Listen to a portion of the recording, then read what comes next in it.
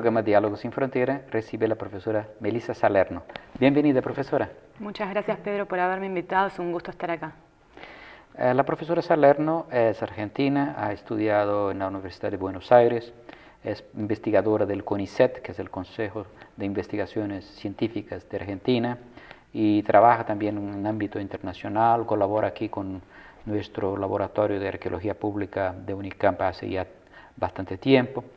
Y es una investigadora con diferentes temas, pero un tema en particular que es muy importante, que es el tema de la arqueología de la represión y la resistencia, eh, y se refiere a las dictaduras latinoamericanas. Entonces, eh, este tema, profesora, es poco conocido de la gente porque muchas veces la gente piensa en arqueología como algo del pasado lejano, no como algo que puede decir alguna cosa sobre una cosas recientes. Entonces la primera pregunta es, eh, cómo este campo de investigación, la arqueología de, la represión y de la resistencia, está, se desarrolló en la disciplina. En realidad hay que remontarse a la vuelta de las democracias en la región.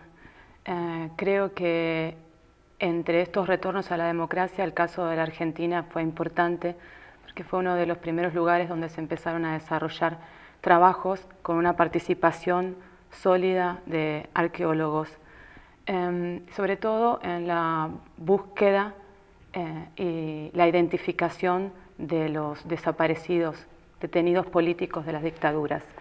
Este habría sido el primer campo de inserción de los arqueólogos en la temática y por los resultados que habría tenido y el impacto importante a nivel social, sobre todo en las entre las familias y la gran difusión que tuvo en los medios de comunicación, creo que ayudó a que el trabajo de los arqueólogos que participaban pudiera ser conocido por una audiencia más amplia. Sin embargo, es cierto también que no todo el mundo vincula la labor de los antropólogos forenses con la disciplina arqueológica y que por momentos existe la sensación de que son cosas que corren por separado, que van por distintos caminos, cuando en realidad el diálogo es intensísimo, eh, si bien la antropología forense toma herramientas de otras disciplinas, como la antropología biológica, la criminalística, etcétera, sus técnicas para la recuperación de los cuerpos y parte del análisis también de los esqueletos mismos eh, proviene de la arqueología y los profesionales que trabajan en el campo, muchos de ellos, habrían formado parte del alumnado de arqueología de las universidades latinoamericanas. Porque eh, hay una diferencia entre, digamos, la antropología, antropología forense, que está basada en un ámbito, digamos, de antropología física, de identificación de huesos y otras, eh, digamos, características físicas del individuo, y la arqueología de la represión que puede tratar, por ejemplo, de edificios, que fueron ocupados para la represión u otros aspectos de la cultura material asociada a dictaduras o a resistencia a la dictadura. Así que son dos cosas que tienen una, una intersección, pero que no son exactamente la misma, en el sentido que la arqueología de la represión, teóricamente al menos, puede ser mucho más amplio. Sí, totalmente. Sí, yo lo que estaba haciendo referencia recién era a una primera fase de los estudios, que no es que cesó, no es que terminó, sino que prosigue hasta el día de hoy, eh, que comenzó desarrollándose en la década de los 80, eh, mediados de la década de los 80 en el caso de la Argentina, y en el caso eh, también de la Argentina, para alrededor del 2000 aproximadamente, comenzaron a ponerse en marcha otro tipo de estudios, mm. sobre todo analizando la materialidad de los lugares que habrían actuado como centros de detención, centros de represión de las personas. Esto abrió otras posibilidades de análisis que quizás sean las que no son tan conocidas por parte de un público amplio, ¿no? Aunque los arqueólogos en estos centros de detención, por ejemplo, trabajaron de manera muy estrecha con los familiares, eh, la comunidad vecinal, barrial de los alrededores pero no siempre ha tenido el mismo grado de, difusión. Este, estos estudios se presentan en algún sentido como novedosos dentro de este ámbito porque eh, implicaban hacer otro abordaje que no estuviera tan ligado solamente con los aspectos técnicos de la excavación, identificación y descripción de los hallazgos, sino también con cuestiones interpretativas sobre lo que habría sido la dinámica represiva. Mientras los trabajos de la antropología forense ponían el eje sobre todo en las víctimas, ahora también se pone el eje en la dinámica represiva, ¿no es cierto? Y en el accionar también sistemático de estos victimarios, que serían los grupos militares que habrían detenido a las personas, ¿no? En estos contextos latinoamericanos. Eh, la profesora Salerno ha compilado junto con otros un libro eh, ya bastante importante sobre la cuestión de eh, América Latina en este contexto de la arqueología de la represión. Entonces, yo preguntaría, eh, profesora Salerno, ¿cómo se desarrolló eso en diferentes países? Porque empezó en Argentina por una cuestión incluso política de la, del final de la dictadura de 83, 84, eh, pero en otros países la cosa fue más lenta.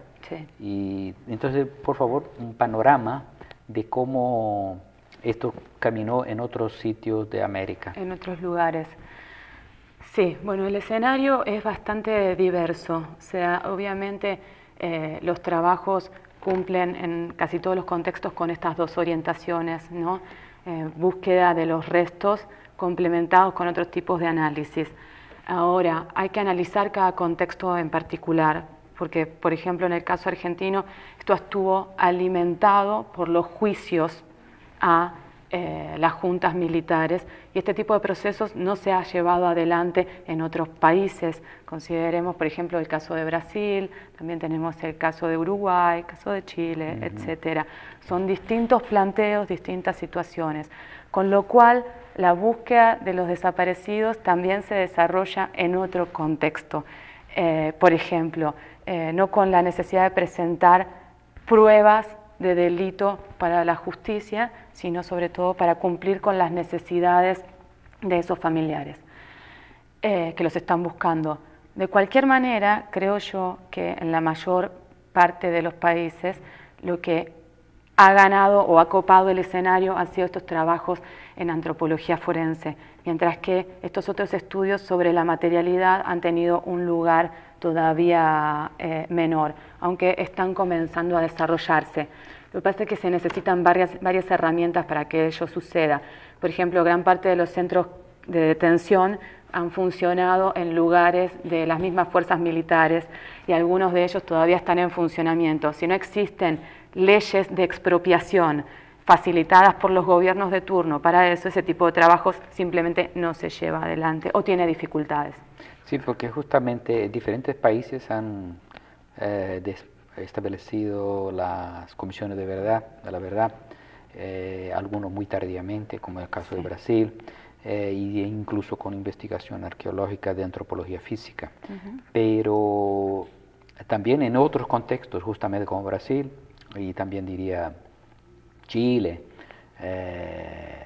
hubo una, digamos, la gente se mantuvo en el poder los, que habían trabajado con los militares. Lo que significa que hubo mucho más atención, ahora hay mucho más atención a aspectos más eh, soft, menos difíciles que de la identificación de desaparecidos, como entonces los centros de detención, más fácil, una cosa menos políticamente eh, difícil. Entonces, en este caso, yo preguntaría si hay diferencias aquí en el Cono Sur, que son lo más, lo más conocido y evidente, pero hay otros sitios también, entonces la pregunta, eh, en, el restante del continente, que son un continente con diferentes con diferencias tan grandes entre países con guerrilla, países con, con un partido como México, con un partido que se quedó, no era una dictadura. Entonces son, son, muchas situaciones. Entonces yo preguntaría a la profesora esto de mm, los retos de trabajar con un tema que en algunos casos es más claro, es decir, Argentina parece una cosa más clara, porque hubo eh, rupturas, ¿no? Pero en los otros toda la cosa está mucho más matizada. Sí, yo creo que tiene que ver también con decisiones políticas.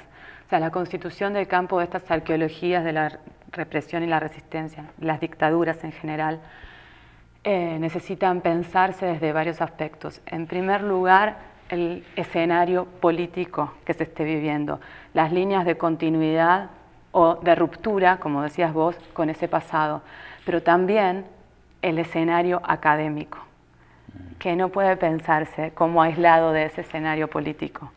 Entonces, para que efectivamente se produzca un movimiento en este sentido de estas arqueologías de la represión, también es necesario ciertos tipos de posicionamientos por parte de los investigadores. Eh, siempre uno dice que en estas arqueologías más posmodernas está claro el compromiso político, social, la subjetividad, pero hay que ver hasta qué punto se terminan haciendo carne ¿no? entre los investigadores, hasta qué punto tienen lugar como para que se puedan llegar a desarrollar este tipo de, temas. Em, y otra cosa ¿en qué medida la, la, academia, se compromete?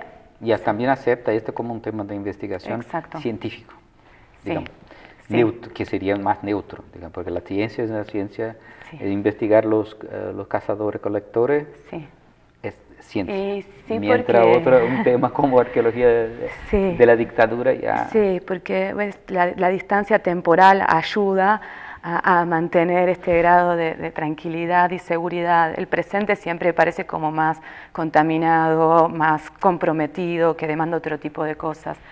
Eh, entonces, acá realmente lo que hay que pensar es cómo se puede llegar a integrar esta temática en el mundo académico para que tenga legitimidad en esto y más gente se sienta alentada a participar en este tipo de proyectos.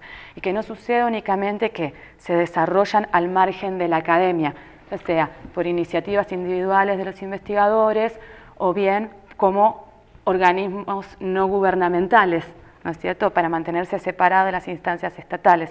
Entonces es necesario... Para no estar contaminado, digamos. Exactamente. Pero por otro lado tampoco tiene influencia en el sistema académico porque está fuera. Porque está fuera. Entonces es necesario que el tema se inserte en las universidades, en los congresos, en las publicaciones científicas, en las publicaciones que tengan que ver con la difusión para un público eh, más amplio.